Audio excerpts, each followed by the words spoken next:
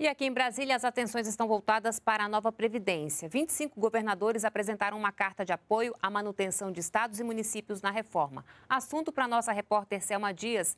Selma, com certeza vai ser um final de semana de muito trabalho para o relator, não é isso? Bom dia para você.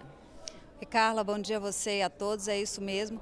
Olha, o relator, o deputado Samuel Moreira, está em regime de dedicação exclusiva, sem conceder entrevistas.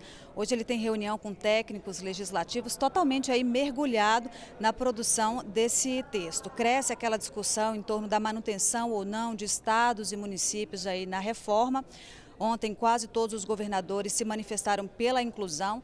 Na próxima terça-feira, eles têm uma reunião aqui em Brasília para tratar desse assunto e alguns já sugeriram né, que o relator aguarde o posicionamento deles antes de finalizar esse parecer. Aqui na Câmara também tem divisão, né, os parlamentares estão aí em cima do muro, mas o próprio presidente da comissão especial, o deputado Marcelo Ramos, disse que a tendência mais forte é pela exclusão de estados e municípios. Fora isso, tem outros pontos também aguardando dando consenso, como as regras de transição.